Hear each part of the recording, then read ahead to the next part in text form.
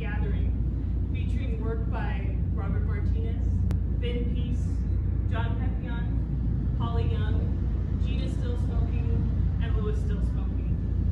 This event and the weekend events are possible due to the wonderful support of our business sponsors, First Bank, Circular, Susie Ponce, with D.A. Davidson. We're so fortunate to have fabulous uh, neighbors that we do, the WYO Theater host our artist talk and the best western that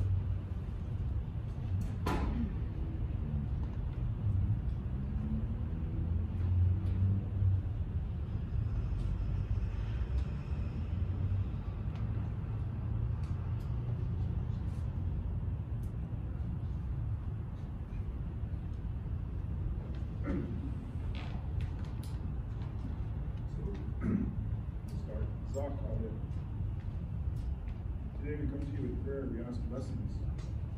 And we give thanks for all things that, are, that, we, that you've given us. This is a good day for all of us. The sun is out. Life is coming up around us. We had a good winter. Those of us that survived through it are here today. Those of us that are here are the ones that, you brought here. You brought us together.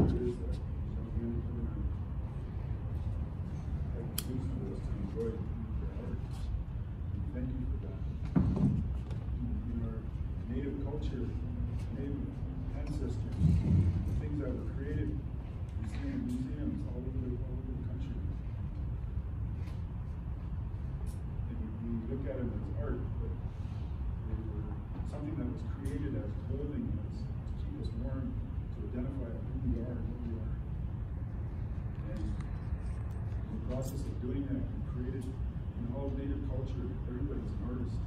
Everybody that eats, everybody that sings. And then created the war weapons. And they put their art and their life into it.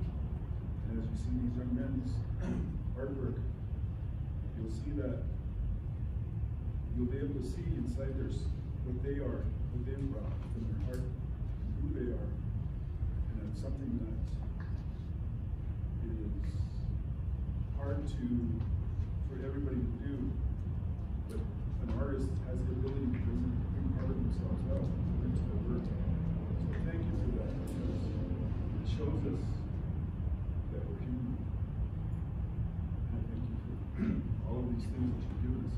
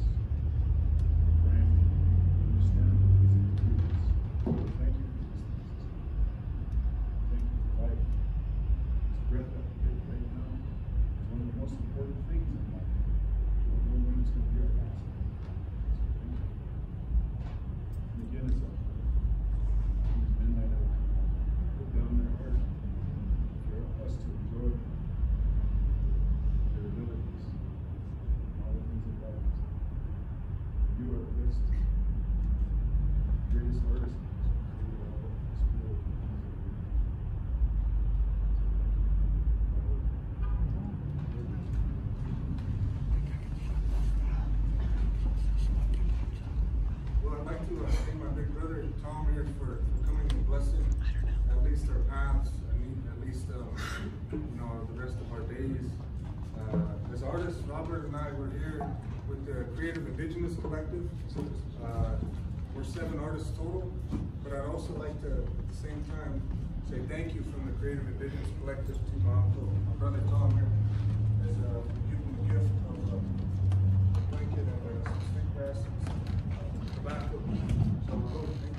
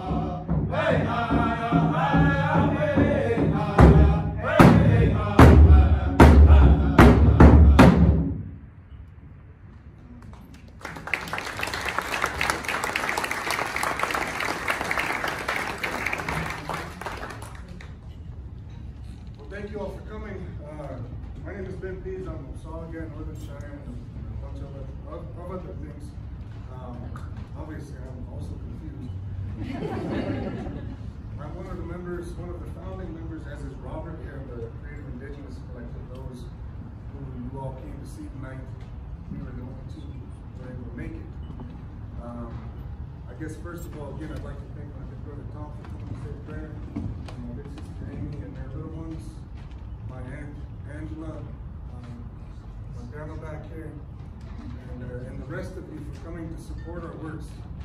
Can everybody hear me okay? Yes. So far? Okay. What was that? So, for me, this show is, is a, it's like a celebration. It's a celebration of who we are. I said uh, a, a couple months ago, my big brother Tom, I said, we miss who we were before COVID, before this, this pan, pandemic. It sort of uh, dissolved us. Uh, and we're happy to get back to that place. And so this is a blessing. It's a celebration. Right now, I see this as, as celebrating while we still can because we don't know what tomorrow will bring. So hello to all of you who came to support us. So thank you for, for prayer.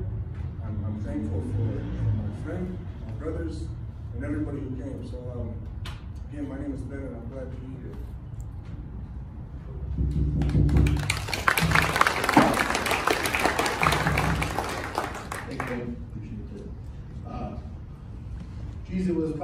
Four weeks ago, Jill and I were talking about what the show was gonna be called, and I, you know, after doing shows and shows and shows, you kinda run out of titles. So I said, and it's really fitting, uh, let's call it a gathering, because we're coming back together, so it's really great. Uh, It's a, it's a great show, show title, and it just, uh, and what Ben just said, it, it fits perfectly. So, uh, Thanks again to everybody, uh, for coming and uh, listening to us talk. And I have a couple of questions. First, Jill, did we charge everybody in here? And are we getting part of the cake? So, uh, with that, uh, we're gonna talk a little bit about our art and what's really important. Why it got so hot in the last couple of days. Gosh. No, we're not gonna talk about the heat. Um, I'm Robert Martinez, uh, I'm from the Northern Arapaho Tribe and I'm Chicano also. I'm from the Wind River Reservation in central Wyoming. I've been a professional artist for over twenty years.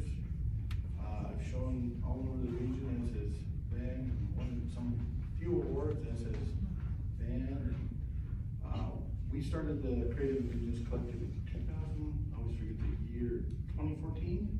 Yeah, I'm in, in fourteen, yeah. Yeah. Uh, We, too, along with uh, the other members of the collective, found that there is a need for uh, authenticity in uh, native art, and specifically Northern Plains native art. We saw that it was hard for individual natives to, to get their art out, and we found that by coming together, we could use our individual um, contacts and, and grassroots uh, organizations to, to find and seek out venues to show our work.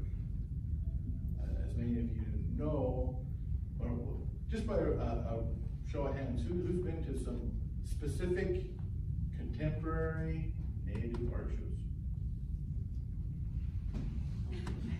That's more than I thought. But it would be great if everybody said, yeah, a, a bunch of them, right? Uh, So that was part of the reason we came together. And, and as a group, we found that our collective uh, contacts uh, gave us other ways to, to give our artwork out to other audiences that we might not have. That's what our collective is about. But not only are we doing that for just our collective, we bring back education to the community. So I'll be doing a demo Saturday if you wanna check that out. Uh, we both do things in our communities with, uh, other native artists, kids, public arts projects. So it's not just about us getting our artwork out there, we also push other native artists to get out there. uh, hey, we just had a show at the Sage, you guys go, go check that out, I'll, I'll come get you in contact with. That's the type of stuff that the, Creative Indigenous Collective is about. And I think you got most of that. Um, yeah, I guess the Creative Indigenous Collective, using, uh, our, our resources as a group, as a tool, as a conduit to, to further a discussion about the lack of representation for Indigenous art in this place. Everywhere that, that uh, we have a show, it's, it's like, quite literally, it's the first time there's ever been a contemporary Native American art show. And we're just operating here in the heart of the West.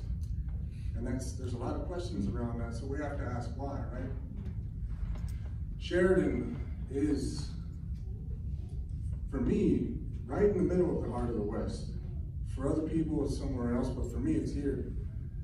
And Sheridan has a long history of bridges between Native culture and that which conquered it, some would say, or that which rose right alongside it. Um, I've heard stories from uh, loved ones that said here, even on Main Street, all over Sheridan, there's there's signs on the windows said no Indians or dogs allowed. And I hear that's just a few decades ago. But look at look at us now, right? We're here, we're celebrating what we do, we're speaking on our own terms, we're telling our own story. And the Creative Indigenous Collective, we're honored to do this because it's a huge responsibility for the generations to come. Robert has kids, I have kids, and those generations, we're building them, right?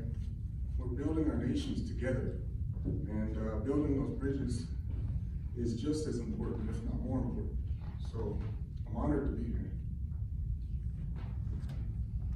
So with that, we're gonna open it up questions.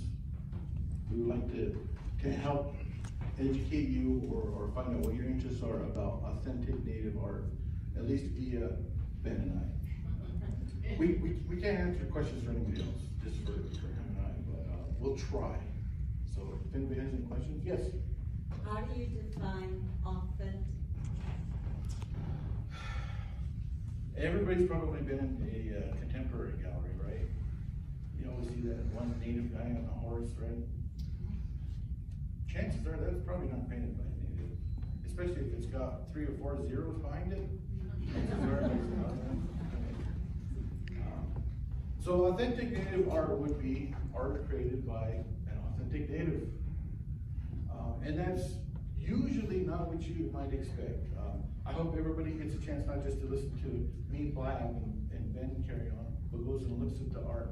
It's it's adjusting your expectations of what authentic native art is, and it's just not just two-dimensional art, um, and it's not uh, just uh, uh, beadwork, which is an art form in itself, or quilt work. Then there's many different contemporary uh, artisans like that. But there's native food, there's native chefs, right? There's native writers. Um, but unfortunately, we don't get the spotlight on us as much as we would like. And that's what we're about, is trying to change that. To add? Yeah, authenticity, I can only echo again what Robert said. I guess having a relation to, to a living, breathing, active community. I heard a term recently, uh, and I think it's a, an anthropological term, but nobody kick me if I get it wrong. Uh, it was a descendant community of a cultural people. And I, I sort of have a, a trouble understanding what descendant community, I mean, it's, for me, it's, it's like a static term. It's, it's not living or breathing. It's not an organism. It, it was, it once was. So, uh, for me, being authentic is, is having a living representation in, even in the living culture, if that makes sense. Uh, I did a painting a few years ago just about what Robert was talking about, titled uh, Indians on Horses in Their Natural Habitat. And this painting, it was a, uh, it was an antique store find. And so that's one of the things that, that I do and Robert does as well. Travel to antique stores to find beautiful things, things of the past. um, things that have come and gone. And uh, I found a painting that was that was done by a Western artist in maybe the in 1978 or something, pretty close to that. And I bought the painting. It was an original oil painting of a wildfire in the forest. And all I did to the painting is I painted text, oil paint text, Indians on horses in their natural habitat. Because as we go to every popular Western art gallery, traditional Western art gallery, Robert's right, Indian on a horse, in the river, in the forest, on a cliffside, et cetera, et cetera, et cetera. So I just gave people what they're looking for. You know? Mm-hmm. This artist, I won't say his name, but he had painted Native Americans his whole career. And I couldn't find one time in looking, as good as, good as my Google skills are, um, that he ever had an impact on Native peoples. So his process, as I saw it, was extractive. He didn't give back in the way that we're taught. And uh, now, I'm not perfect, and I, I don't think anybody in this room is, but uh, I hope that that sort of helps you understand what authenticity to me means, I guess, and being an artist who is also indigenous, an artist who's um, not just inspired, but has a has a connection, a bridge. That's the short answer, by the way. Really, it is. Uh, there's so many nuances. Uh, uh, so if you can't wrap your head around this, a non-native artist painting or creating native imagery or symbols has a much longer and more lucrative career than an authentic native artist creating authentic native art. Everybody understand that? You can walk into commercial galleries all over and, uh, you get more representation in the Southwest, but especially up here, all the native imagery is almost all by non-native artists. Authentic native artists are pigeonholed even where they show, right?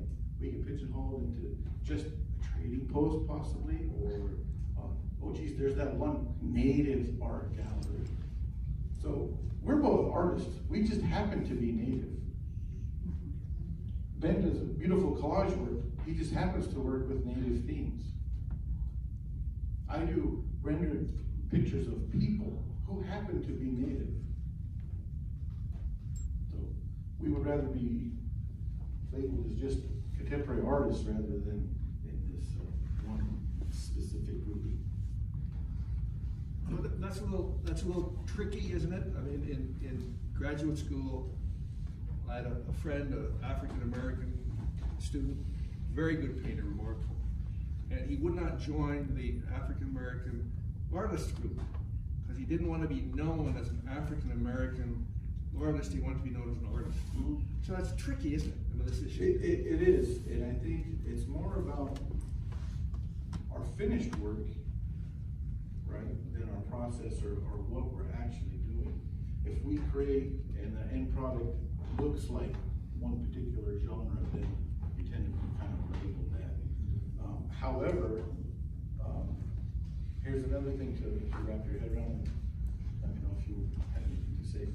Um, all of those non-native artists painting non-native people, how many non-African American artists painting just African Americans? That's it, that's all they did. Have you, do you know of any? What about a non-Asian artist creating all Asian work? But I'd have to say I do know some. Well, th- there, there are some, I, I can name a few, but by far and large, it's way more accepted for a non-native artist to create nothing but native imagery. And that's okay. Um, Most of those artists are phenomenal painters, phenomenal sculptors. However, why is that okay? And why is it okay for a collector to, to say, wow, do you know any natives? Uh, You know, the artist might say, yeah, I know like three, and then have a career spending fifty years of painting native people. You know, why, why is that accepted? We're trying to change that. We would like to say, you know, if you're doing nothing but individuals and you do, you know, Asian person, uh, African American person, and Native person, and, you know, you have all kinds of people because you do people, that's, that's a different story, but, um, that's, that's one of the things that we're, we're trying to point out. Any other, any another question? Good evening each and every one of you. My name is Sergio Maldonado. My mother is Ruth Francis Spoonhunter. My father is Andrew Maldonado, truly an indigenous man from Pihuamo, Jalisco. I live on the Wind River Reservation. I'm familiar with Mr. Martinez here his work. With respect to authenticity, I think that we have to keep in mind that authenticity is always going to have one's own interpretation to it. So when I think of authentic Indian art, I'm hard pressed to say that you would truly have any authentic Indian artists today, because that authenticity, as much as Ben has made mention, you are a part of that community. You live, you breathe, you practice ceremony within that community. People know who you are, you give back. I think of some of the early artists that were mentioned, and Robert mentioned that he's aware of a whole lot, and I'm sure he is. I think of Charles Bodmer, who painted basically landscapes, but some tribal people, then Charlie Russell, he was one. But today's contemporary Indian artists are people who are from that community, and what distinguishes, in my interpretation, an authentic Indian artist, whether it's mixed blood, I am mixed blood. I have participated in our tribal ways, our lodge ways, this year be 40 years. So I've been a part of all of that, under the tutelage of a lot of good tribal men, elders. So this authenticity is going to be impacted by today's world. And I'm glad that you made mention about this, this coronavirus, because that has affected the mindset of the world. But yet, as tribal people, we've always known that at some point in time, even my grandma Tony Wolfrang told me about this, my grandma Marguerite uh, Spooner Warren, she says when that coyote lands on the moon, things will change. I was in about seventh grade when she told me that. Then Brother Armstrong landed on the moon and he says this, those famous words, the eagle has landed. And since that time, I woke up. The scales were removed from my eyes. Tribal people are beyond exponentially further marginalized in this nation called America. Further marginalized. Now we look at the artists who are trying to recreate the story, the picture of who we, we, possess a plural, were. But we have to focus on who are we now. And through your artwork, they're trying to share that. I had to muse when you said that you can have just scads of, geez, real res talk. You can have just a whole lot of people who are making big bucks, not even tribal, painting tribal. But yet, as tribal artists, you're marginalized not only by America, but within your own community. Because we will have tribal people who will say, well, Serge, you should really be writing about this or talking about this. You don't want to step out of the norm. But that norm, from a very paternalistic government, Bureau of Indian Affairs, BIA, has subjugated tribal peoples to the point of even our artists have to be aware of how far can you push that brush. Lest you, you, you, you, you, bring the condemnation down on you. And still you try to provide for your family. Tribal artists have been exponentially marginalized within America and within our own communities called reservations. It's neither good, bad, or indifferent. It is what it is. That sun still comes up for me every day, and I'm thankful. We had Pipe Fast just last week for our lodge coming up on July 13th, Rabbit Lodge, or Sundance Lodge. Ceremony still goes on in light of the suppressions. But what's radically different, and here's where artists push that, not push the envelope, writers push the envelope, artists push the brush. That's my take. Very true, very true. That's my take. Look at our ceremony, how it has been impacted radically, significantly from what it used to be. Now we drive our vehicles to the grounds, use chainsaws to take down the timber for the lodge. Use a lift to pick up those big timbers when I go up to the mountains with them, to load them on, and then they bring them back. Everything is, is within the condition of modernity, and even our tribal ways have been subjected to that. Not that we didn't want it, it just is what it is. A couple years ago, well, many years ago, had to ban cell phones on the grounds. Because people, even tribal people, were taking pictures of them, the dancers. It had to stop. And then pandemic, we couldn't even get up to the lodge, we sat distance away from it. And everybody had to verify that you've been COVID-19 free, you've had a, you know, whatever. Myself, COVID-19 negative 13 times as of yesterday, because I work at the casino, I work with a lot of people. But what I'm saying is that art has been impacted as radically as tribal people have, as radically as American people have, because yes, we have authentic American people. Nobody can escape that notion called authenticity because every one of you are special. Every one of you have an authenticity about you. Every one of you have a lineage that is worth sharing. Because we're all children of that one old man, that messy one. That old man. We're all children of one God. That's what I've learned in my short tenure this earth. But it's all good. Appreciate you, both of you, coming on out. I saw a word of it. It didn't happen on the Moccasin Telegraph. I saw it on the Thank so, so, so that's how it's changed. I was busy with a colleague, Michael Yellowbird, Jackson Lake, Saturday, got some work from him. We talked about exactly this. Where is it gonna be when your children are your age? You're a young man, you're only what, twenty-two? Um, twenty-two years ago. Things radically changing and it's, it, it is affecting everybody for the good, however you wanna construct it. Regardless, life is good. I appreciate your efforts, I just wanna say a few words. Thank you, Sergio. Appreciate that. A Lot of stuff, a lot of stuff. And as you can see, these, these conversations, they, they get, uh, off on one thing and then it, it's so similar to other things, right? Um, One thing I'd like to mention is that, uh, from one tribe, I'm from another tribe. And, uh, native art, especially by non-natives, that gets pushed into one Indian theme. But we're different as, as, Germany is from France. People tend to forget that, that there were over five hundred nations on, on this land we call, you know, America. Um, and they, they were all different, they all had different languages, they all had different customs, dress, they all had different things that meant something to them, and then those were different from another tribe. But we get this idea of the, of the Indian, and I'm pretty soon everything is, uh, either in Utah or in the mountains, and everybody's wearing plain headdresses, right? But it's not like that. Yes, question? Can I ask on that train of thought, how many different regions, tribes, or groups are represented in your collective at this point in time? We have seven members presently, and five nations total. Well, I'm, I'm at least five.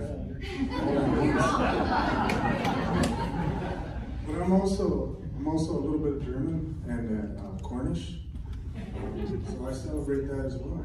I think you mean corn. Yes.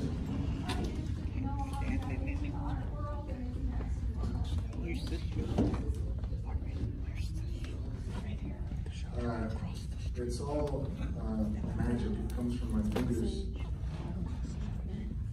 No, I'm just kidding. You know, I don't mean to be funny.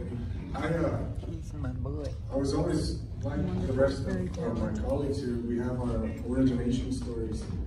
Uh, I was inspired by a number of different artists.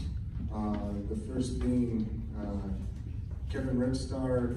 Some of you might have heard of his, his work. Uh, it's been around a little bit here and there.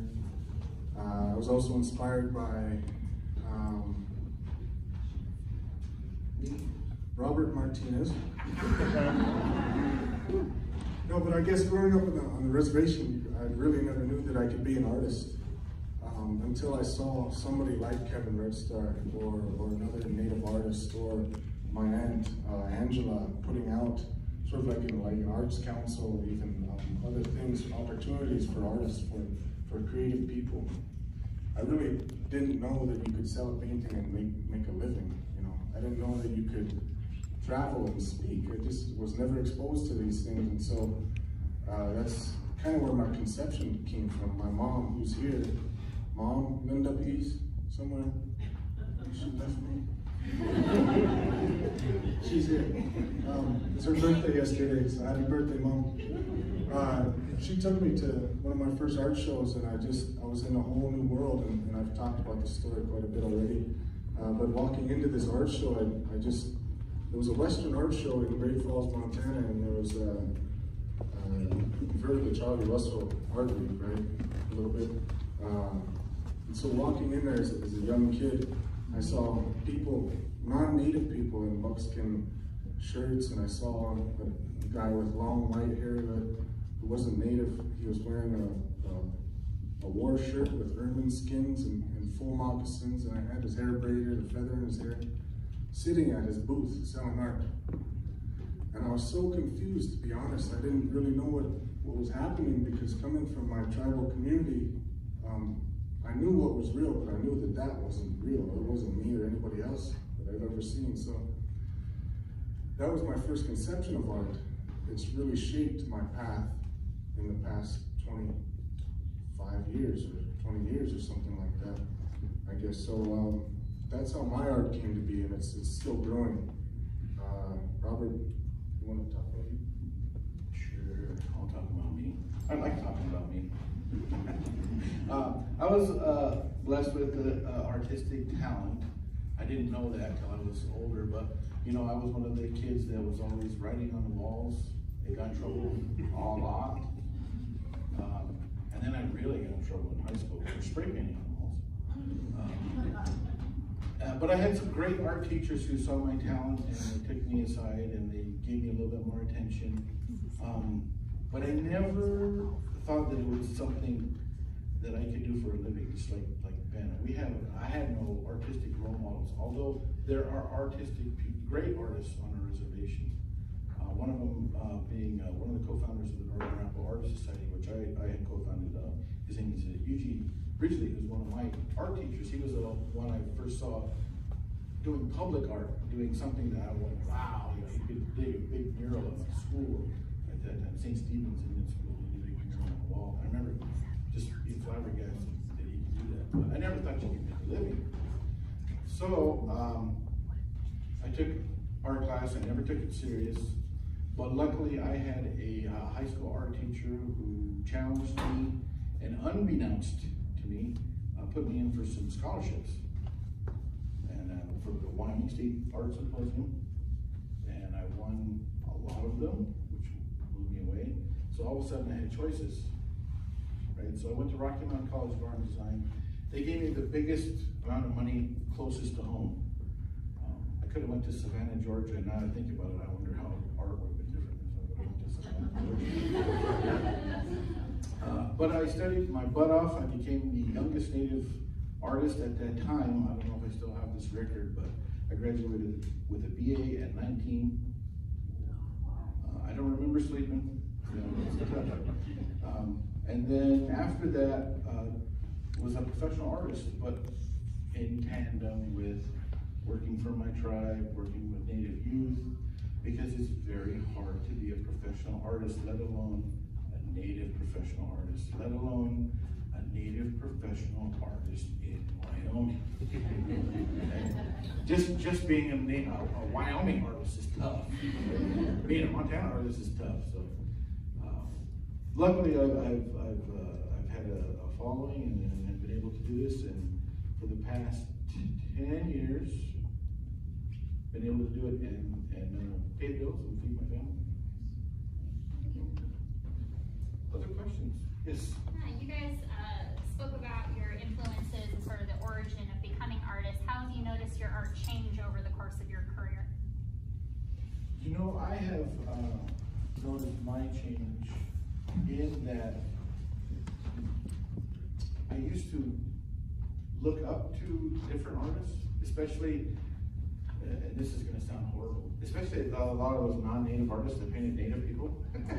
Because they're really good. I, I'm not, a lot of those painters are awesome, but the way they painted and who they painted influenced me. Um, however, I stopped looking up to them and figured out, you know, I'm gonna do something just different. I wanna do what I wanna do. And really, that's when you find your voice as an artist, when you stop. When something around you spurs you on, it's great, but when you say, yeah, that's great, but I got, I got a better idea that I can do something. That's when your art really takes off and evolves.